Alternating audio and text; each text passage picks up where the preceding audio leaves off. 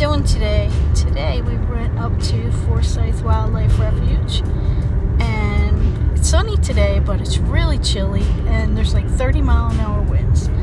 But we went anyway and we got there and the wildlife drive was closed. So we drove all that way. But we were talking to a guy in the parking lot and he said they were supposed to reopen it and they did while we were there. So that worked out. We drove around. The snow geese are gone at least we didn't see any. And um, we did see a bunch of different ducks and uh, some geese. And the camera keeps bouncing because I'm in the car. Um, yeah, we saw some herons, saw an eagle. Didn't get them on film, but we did see an eagle. And uh, there was a lot of ducks. I was surprised with it being so windy.